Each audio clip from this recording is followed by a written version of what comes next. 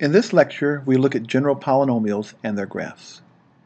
A polynomial of degree n is a function of the form f of x is a sub n times x to the n plus a sub n minus 1 times x to the n minus 1 plus and so on with various coefficients a sub i times x to the i, where n here is a non-negative integer, and these coefficients a sub n and so on are all real numbers. The integer n the highest exponent on x is the degree of the polynomial, and as mentioned briefly, the real numbers in front of the powers of x are called the coefficients of the polynomial. The real number a sub n at the front is the leading coefficient of the polynomial, and the constant term a sub 0 corresponds to the y-intercept of f of x. For example, the polynomial f of x equals this expression has degree 5 leading coefficient 2, and constant term 23. The simplest polynomials are the constant functions, whose graphs are straight lines, and the linear functions, whose graphs are lines. We've already looked at these, along with functions of degree 2, the quadratics. Since f of x does not involve square roots of a variable x, nor does it have denominators involving the variable x, then the domain of a polynomial is the entire real line. In other words, there's nothing like square roots to prohibit uh, various real numbers, and there's nothing like denominators, where you might worry about zero, to prohibit real numbers. So everything is in the domain. Graphs of polynomials are particularly nice. They're continuous without holes or gaps. For example, if we look at uh, these graphs here, the one on the left has a hole or jump at a discontinuity where x is 1. The one on the right is not defined where x is 1. Neither of these graphs, in neither of these graphs is the function continuous, so these could not be the graphs of polynomials. Because the graph of a polynomial is continuous, it obeys the intermediate value theorem. This means that if the function takes on a particular y value in one place and a different y value in another place, then the function takes on all possible y values between the two. More explicitly, Suppose we have a and b as two real numbers where the function at a is less than the function at b. So the two y values there are different. Then given any real number u between those two y values, there's an x value c between a and b, so that c is the y value associated with u. Continuous functions, such as polynomials, cover all the y values between f of a and f of b, in other words, all the values intermediate to f of a and f of b. So this is the intermediate value theorem. Continuous functions, such as polynomials, cover all y values intermediate to f of a and f of b. Here's a picture from Wikipedia displaying this relationship. In this picture, the horizontal green lines represent f of a and f of b, Notice how f of b is at the top and f of a is below.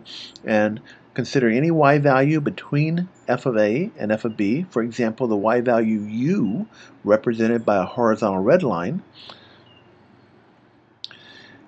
The graph in blue is a continuous function, and that graph has to have some x value c whose y value is u.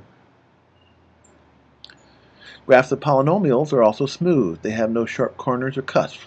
In the picture below, the graph on the left has a sharp corner at the point 1, 1. The graph on the right has a cusp at the origin. Neither of these graphs could be the graph of a polynomial. These graphs are not smooth. Polynomials, graphs of polynomials are smooth. So the following properties of a polynomial should be visible in the graph. The domain is all the real numbers, the function is continuous, the function is smooth. Let's consider the simplest polynomials, the so-called power functions like f of x equals x, or x squared, x cubed, x to the fourth, x to the fifth, and so on. All of these um, my function is simply x to the n, some power of n. We're going to look at the end behavior of these functions. All of these functions have some form like either f of x equals x cubed or f of x equals x to the fourth. If the exponent on a power function is even, then the y values will go off to infinity, shoot up to infinity, whether x is going off to the left to negative infinity or off to the right. As we move away from the y-axis, the function will begin to rise, the y values will begin to rise. we say that behavior at infinity, or the end behavior of the polynomials, looks like this picture.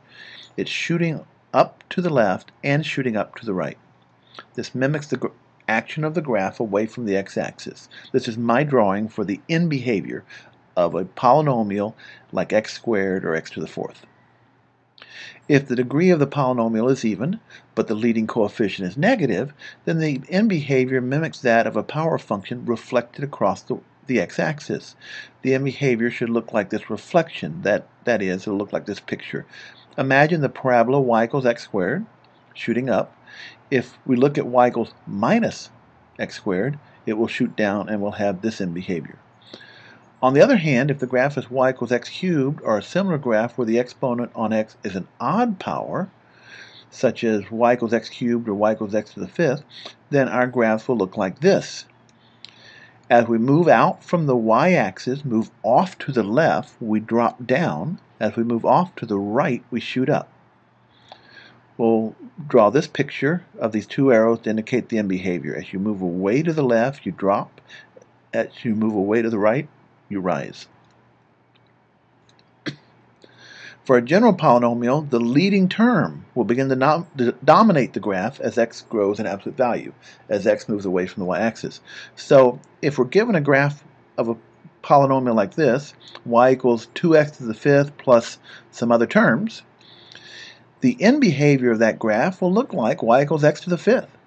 The end behavior of the fifth degree polynomial, 2x to the fifth plus smaller terms, is the end behavior of x to the fifth because as x gets large, x to the fifth is much, much larger than anything involving x to the fourth or x cubed or x squared.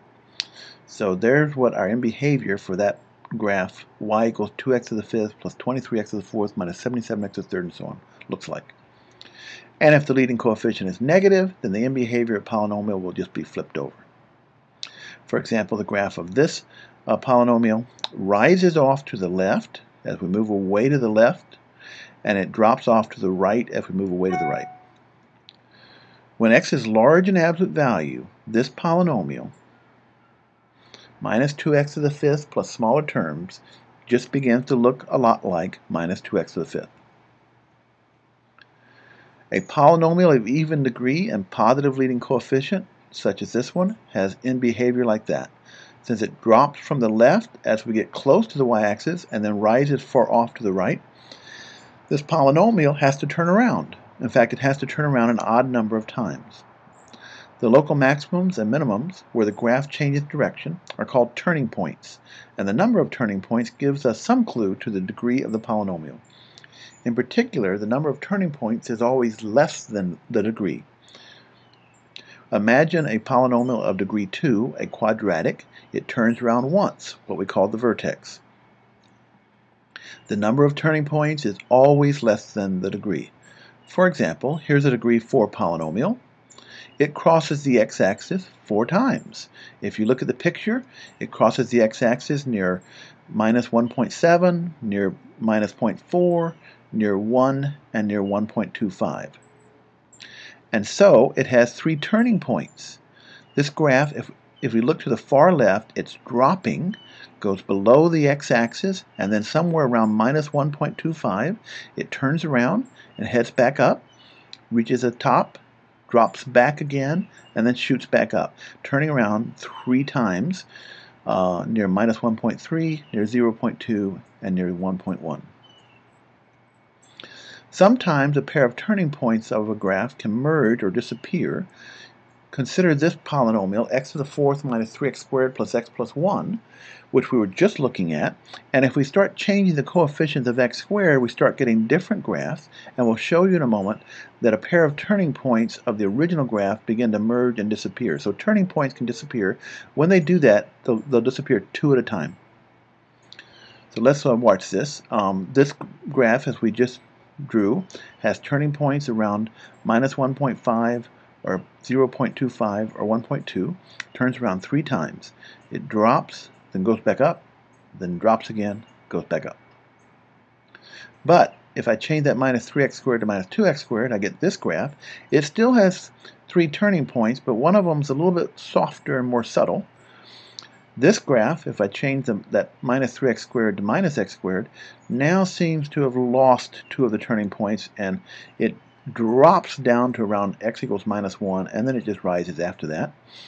If I throw out the x squared term completely, it's clear that this fourth degree polynomial, instead of having three turning points, just has one. Let's see these again. Three turning points of a degree 4 polynomial softening into one turning point. There's my original one with three turning points. Three turning points. Seems to have probably just one turning point. Definitely just one turning point.